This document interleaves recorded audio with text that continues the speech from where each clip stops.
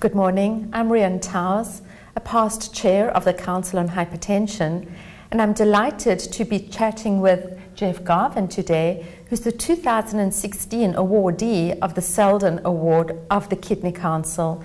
So, Jeff, on behalf of all of us in both the Hypertension and the Kidney Council, we are so delighted to know that you are the recipient of this very prestigious award in 2016. Thanks, Rhian. It's a, it's a great honor and a privilege to be uh, given this award and receive this recognition from one's peers.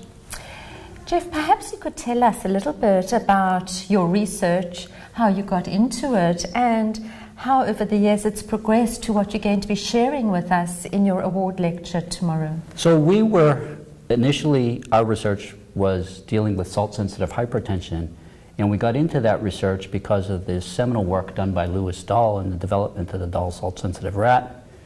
We were one of the first laboratories to show that nitric oxide inhibited sodium reabsorption along the nephron and that that was defective in the model of the Dahl rat causing salt-sensitive hypertension.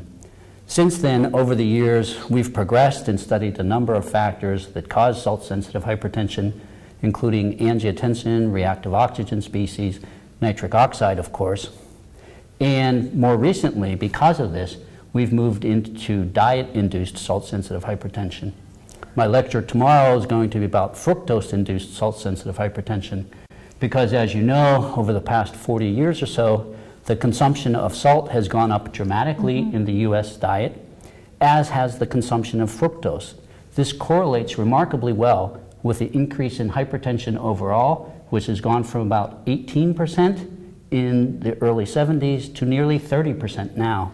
And about half of that increase in hypertension is salt sensitive hypertension.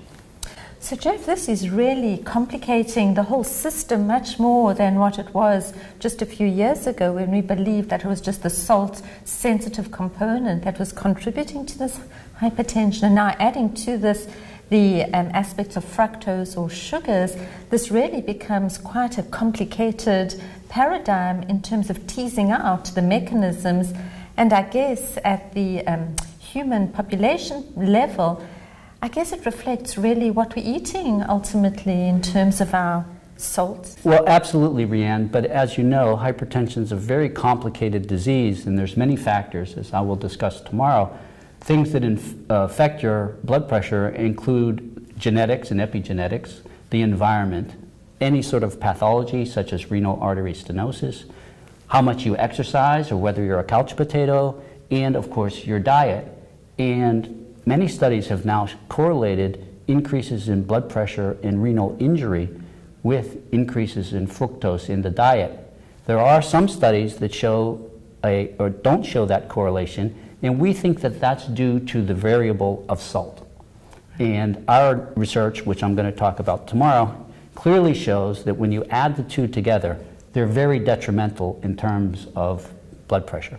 So, Jeff, perhaps you could tell us, in terms of what we consume, what are the foods that actually contain fructose? Well, the biggest increase in fructose in our diets is caused by the consumption of soft drinks. Yes. So, about 40 percent of fructose intake comes from sugar sweetened beverages. I hate to age myself, but in the early 70s, when I was a kid, you could get a soft drink for a dime, and it was either a six ounce version or a 10 ounce version. And now you can go into a convenience store and get a drink that costs approximately the same amount of money, and it could be 64 ounces. So there's been an order of magnitude increase in the volume, and with that volume comes an order of magnitude increase in fructose consumption because the beverages now are sweetened with high fructose corn syrup, which is 42% fructose. So, Jeff, um, as we can all see in our um, populations at large, there's more and more consumption of both peanuts, uh, salted snacks, and of course, with that goes the desire to drink more. And of course, one would associate drinking more sodas as we eat more salty um, foods. And certainly in the Western world and probably in the developing world as well, this increased consumption of salty and sugary uh, foods is increasing and most likely contributes to the increasing prevalence in hypertension probably at a global level. You're absolutely correct, Rhian. Uh, hypertension is now the leading cause of, quote, loss of health worldwide. And this is due to the fact that there's increased salt consumption around the world.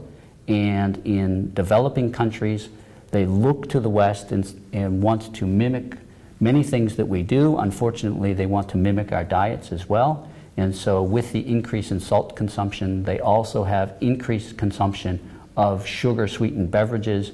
Most of those beverages are sweetened with high fructose corn syrup because it's relatively inexpensive and you perceive it as being sweeter than actual table sugar. And so, that combination of increasing salt in your diet and increasing fructose in your diet through primarily sugar sweetened beverages causes the problem of elevated blood pressure. So, Jeff, if you want to give us one message in terms of population health, I guess I could imagine what it will be, but perhaps you could just reiterate what it is we should be doing to have a healthy lifestyle in terms of fructose and salt intake. So, unfortunately, too many Americans are looking for the magic bullet, and there really is no magic bullet. It, of course, is eat a well balanced diet with lots of fruits and vegetables, try to limit your salt intake, get plenty of exercise. And also, I would say there's new studies now looking at sleep as a cause of hypertension. And I would say get your eight hours also. So, I guess perhaps our mothers and our grandmothers were correct after all. A healthy lifestyle will certainly create a healthy population. Absolutely. So, Jeff, once again, on behalf of our council and the Kidney Council, uh, congratulations, and we certainly look forward to learning much more tomorrow in your award presentation. Well, thank you very much, Rhian. And as I said, this is a great honor.